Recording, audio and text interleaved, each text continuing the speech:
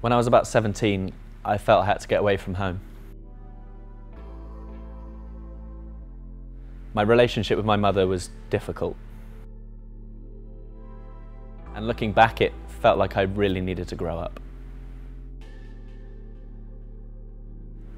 I wanted to get my own place, but in many ways I was forced to move out. For many years, my mother was ill and I had to look after her.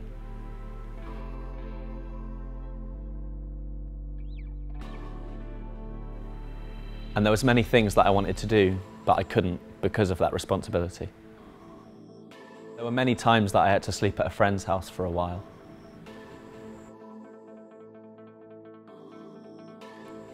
So when I think about homelessness, it's not necessarily sleeping on the street.